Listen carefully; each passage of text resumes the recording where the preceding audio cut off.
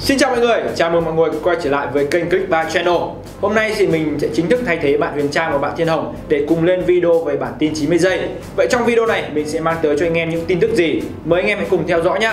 và bây giờ thì bản tin 90 giây xin được bắt đầu. Một số thông tin gần đây cho biết rằng điện thoại HP Elite X3 sẽ được bán vào cuối tháng 9 này với mức giá khoảng 699 euro. Sau đó thì có lẽ HP sẽ mang máy đi một số thị trường khác. Mặc dù đã được giới thiệu từ tháng 2 năm nay với khả năng biến hình thành một chiếc laptop hay là một chiếc máy tính bảng, nhưng mãi tới bây giờ chúng ta mới có những tin đồn về chiếc Elite X3 này. Nhắc lại một chút về cấu hình của X3 thì nó có màn hình là 6 inch, độ phân giải là 2K, con chip Snapdragon 820 cùng với đó là dung lượng RAM 4GB, tiêu chuẩn chống nước chống bụi IP68 và tiêu chuẩn chống rơi từ độ cao 1.8m theo tiêu chuẩn của quân đội. Viên pin cực khủng 4 1150 mAh và đặc biệt là máy hỗ trợ bảo mật vân tay cũng như là loa ngoài theo công nghệ của BNO.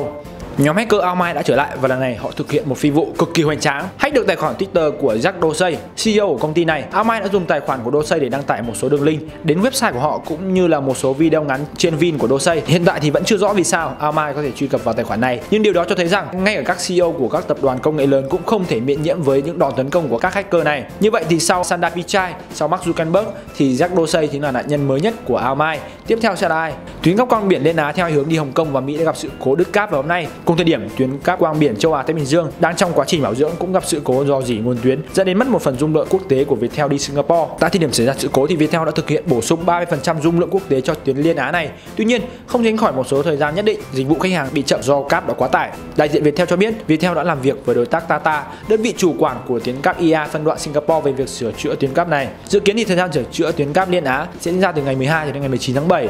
Trong quá trình nối cáp thì nguồn điện sẽ được ngắt hoàn toàn nên toàn bộ dung lượng đi quốc tế của Liên Á sẽ mất và ảnh hưởng nghiêm trọng tới quá trình truyền tải và truy cập internet. Vậy là bản tin 90 giây của mình vừa kết thúc rồi. Nếu anh em còn bất kỳ thắc mắc nào hay câu hỏi nào, hãy cùng để lại trong phần comment video nhé.